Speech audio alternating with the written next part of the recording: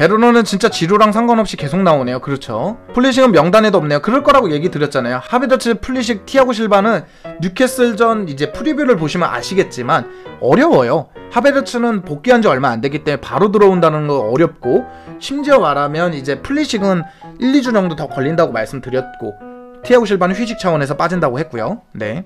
탄코는 보내줘도 돼요. 근데 아직까지는 예, 탄코가 훌륭한 자원이 될 수 있어요. 탄코는 아직까지는 제임스가 뭐 한 시즌을 퐁으로 다, 다 잘해본 게 아니기 때문에 아직까지는 야 이제 됐다 탄코 내보내자 이게는 조금 약간 시기상조일 수 있습니다.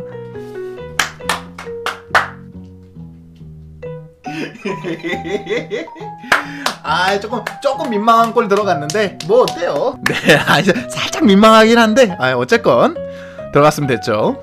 베르너, 베르너, 오 베르너, 살짝 살짝 토 살짝 그치 제발 제발!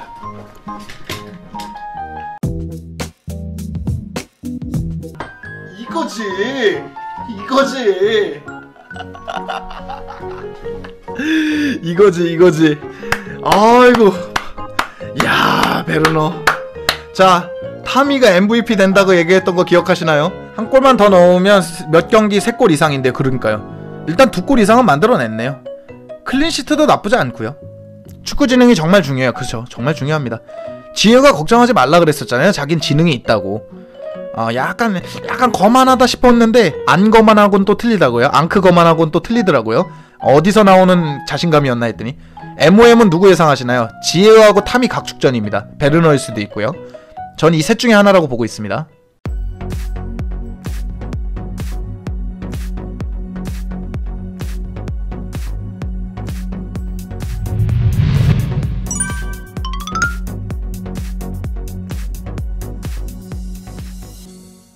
안녕하세요. 첼크 팬 여러분 앙크TV입니다. 오늘은 뉴캐슬 대 첼시 첼시 대 뉴캐슬의 경기를 리뷰해 보도록 하겠습니다. 앙크TV 리뷰 같은 경우에는 좀 감성적인 거 어, 팬이 봤을 때 이런 부분은 좋았고 나쁘고 이런 거를 짚는 거고요. 물론 경기에 대한 수치 이런 것도 나오겠지만 그런 부분을 좀 더 건드려 본다라는 거 그런 리뷰라는 걸 알고 봐주셨으면 좋겠습니다. 바로 보겠습니다 어, 이렇게 보시면 딱 드러나는 것이 있죠. 어, 첼시는 점유율도 많이 가져가고 시종일관 뉴캐슬을 공격했구나. 하지만 뉴캐슬은 시종일관 내려앉았구나를 점유율만 봐도 알 수가 있죠. 점유율만 봐도 알 수가 있습니다. 넘어가도록 할게요.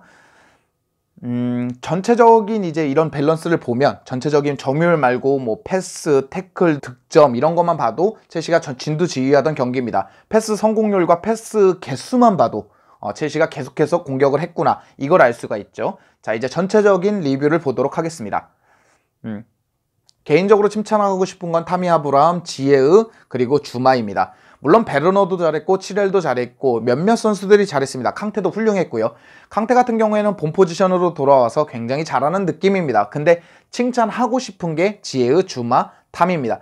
타미부터 얘기를 하죠. 타미 아브라함 같은 경우에는 자신이 이제 무엇을 해야 되는지 아는 것 같아요. 그 전까지는 초반 레이스로 득점은 좋았지만 버텨주는 것도 별로고 버텨주는 것만 별로였습니까? 툭 치기만 해도 넘어지면서 공소유권을 잃어버리고 이런 모습이었는데 이제는 자신이 버텨주면서 공격을 할 수 있는 그런 능력까지 갖추고 있는 베르너와의 조합도 되게 잘 맞고 스스로 득점도 해냈고 이런 판단 미스도 적어지고 확실히 좋아지는 것 같습니다. 두 번째는 주마입니다. 주마 같은 경우에는 가장 걸렸던 게 티아고 실바가 없을 때도 주마가 잘할 것인가 루디거가 됐든 텐센이 됐든 티아고 실바가 없는 상황에서도 주마는 잘할 것인가가 중요했는데 주마는 그럼에도 잘 불구하고 오히려 루디거의 실책을 메꿔주는 느낌이었거든요.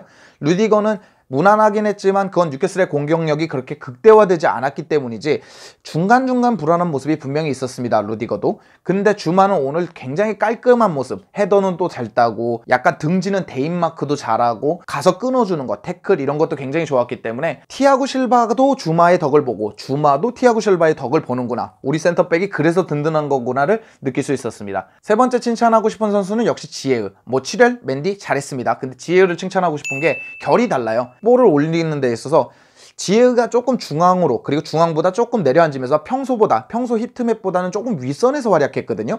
그런 것만 놓고 봐도 지예흐가 오늘 공격적 build-up을 맡아준다는 느낌이었어요. 왜 조르지뉴도 없고 하베르츠도 없으니까. 좀 더 많은 역할을 부여받았음에도 불구하고 굉장히 날카로운 모습을 보여주면서 어, 베르너가 놓쳤던 득점이 있습니다 전반전에.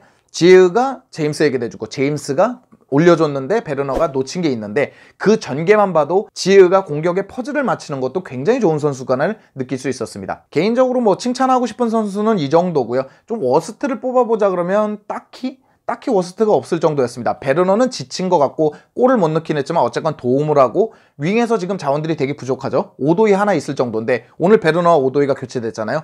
오도이가 나가서 보여준 폼을 보면 아 이래서 베르너가 나오겠구나 이런 걸 느낄 수 있었습니다. 오도이가 조금 폼이 올라와 줬으면 좋겠고 풀리식은 빨리 부상 복귀했으면 좋겠고 그런 생각이 많이 들 정도로 베르너는 경기력은 좋은데 많이 지쳐있는 느낌이고요.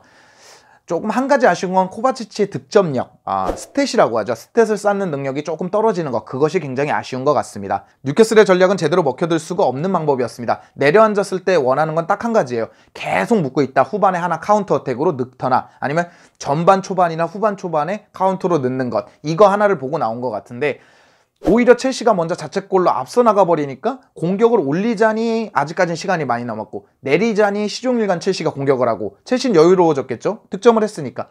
그래서 뉴캐슬 같이 내려앉는 팀에는 선제 득점이 이래서 중요하구나를 한 번 더 느낄 수 있는 그런 경기였습니다.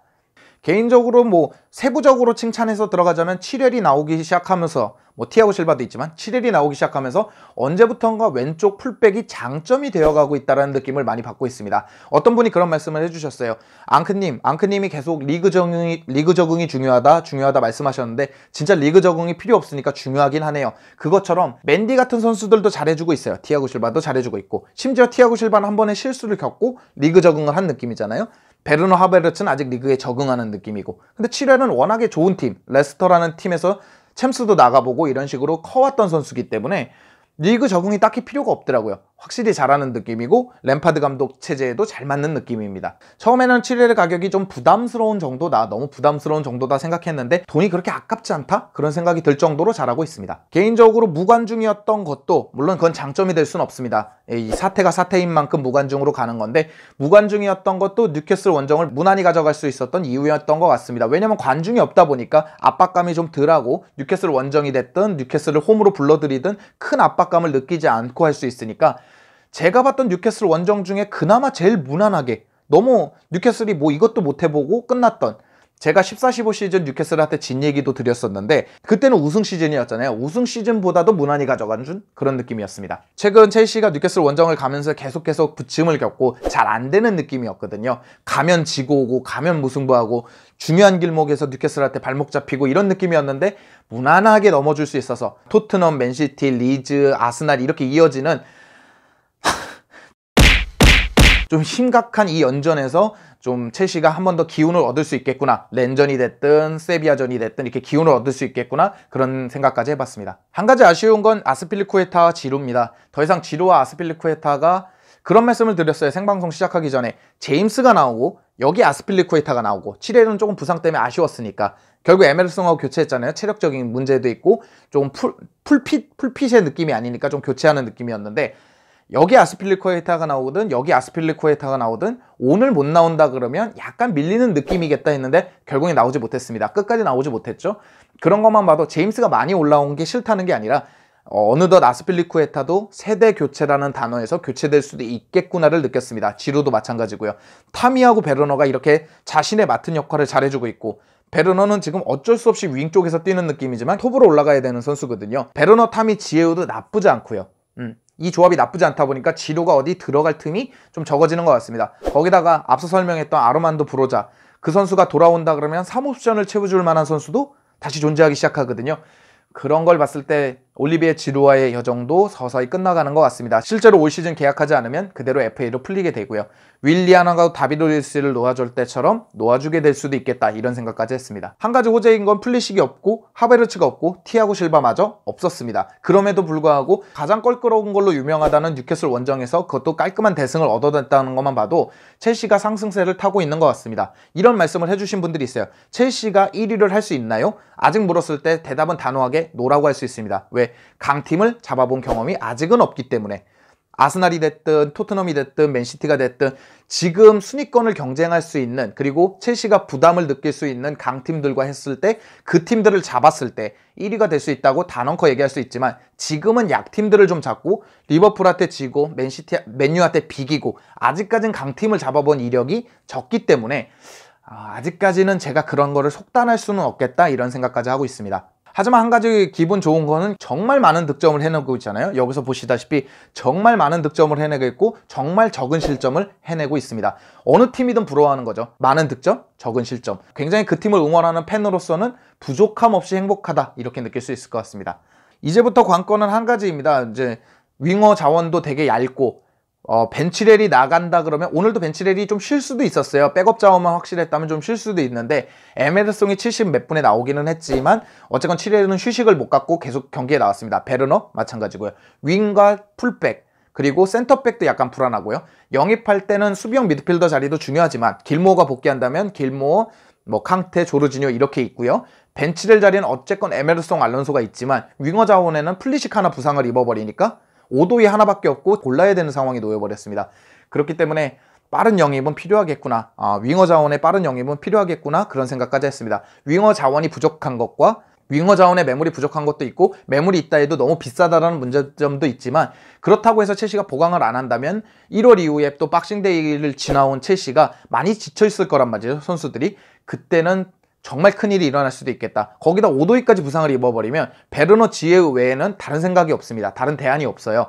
마운트가 갈 수는 있는데 또 지예흐 쪽에 문제가 생길 거고 그러면 안 되겠지만 선수들도 사람이다 보니까 지치기 마련이고 전 시즌을 모두 소화하면 좋겠지만 그 경기력을 모두 유지할 수는 없게 됩니다. 그렇기 때문에 윙어 자원의 보강은 좀 필요하겠구나 이런 생각까지 했습니다. 막시맹이라고 해서 뉴캐슬에서 뛰는 선수 굉장히 눈에 띄더라고요. 약간 드리블 치는 거나 좀 돌파나 스피드나 이런 게 눈에 띄는데 물론 가격은 비쌀 겁니다. 뉴캐슬이 큰 가격을 부를 거예요. 에이스인 것 같더라고요. 이 뉴캐슬 진영에서 막시맹을 이용한 공격 역습 이런 걸 좀 진두지휘하는 느낌인데 그러니까 결정을 해야 될 것 같습니다. 비싼 선수를 데리고 와서 주전을 삼을 만한 선수를 데리고 올 것인지 정말 괜찮은 가격이나 조금 오버하더라도 완벽한 서브 자원을 데리고 오든지 이 둘 중에 하나는 정해야 될 것 같습니다. 아니면 youth에서 call-up을 하던지요.